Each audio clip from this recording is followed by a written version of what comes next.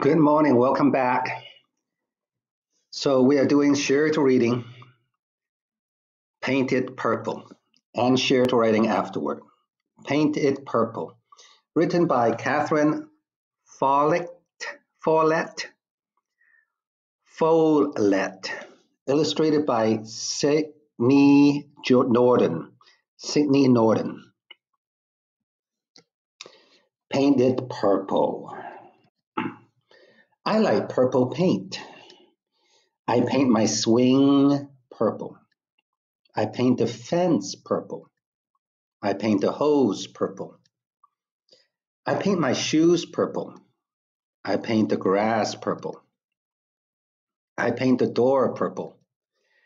I paint my mom purple. Mom does not like purple paint. All right, talk to uh, a family member. I paint the what purple? I paint the something purple, all right? Go ahead. Five seconds, 10 seconds.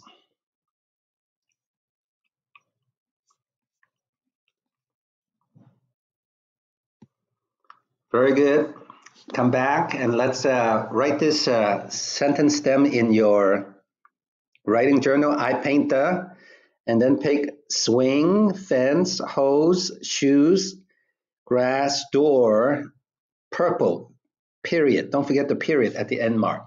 Okay, you can pick your own words. And remember in kindergarten, you don't need to be exact in your spelling. Just phonetically sound right, and I'll give you full credit.